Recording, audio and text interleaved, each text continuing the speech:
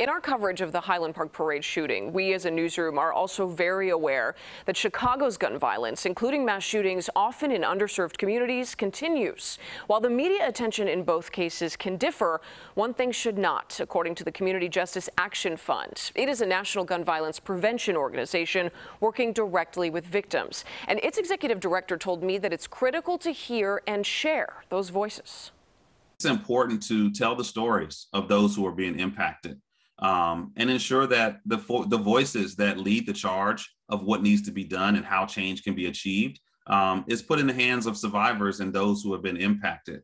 Um, we just saw yesterday Congresswoman Gabby Giffords received the Medal of Freedom as a survivor of gun violence for her courage to speak up and talk about this issue and prioritize prioritize it. But I will tell you, there's there's Gabby Giffords all throughout Chicago um, that are there, that are fighting, that have survived, that are courageous, that are helping their community but their voices are not being heard and elevated. And, and we need to do that.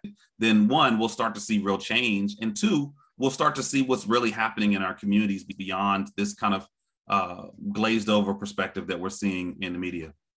The Community Justice Action Fund calls gun violence here and across the country a public health crisis. It applauds the new federal gun legislation, but they are asking local and state leaders to do more.